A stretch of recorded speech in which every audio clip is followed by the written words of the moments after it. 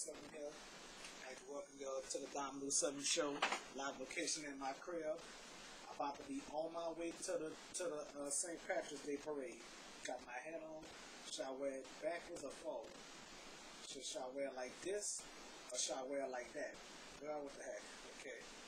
So anyway, your boy Dominoes 7 gonna be on the way to the to the to the uh, the St. Patrick's Day parade, even though tomorrow is officially St. Patrick's Day. You heard me? All right. So, so anyway, I, I hope y'all have fun. Okay, I'm about to go, go over here and uh, check the check the bus schedule. Okay.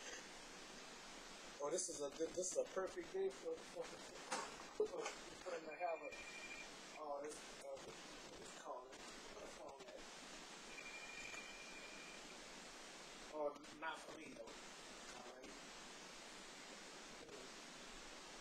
Here's something scheduled. Uh, ten forty eight. Okay.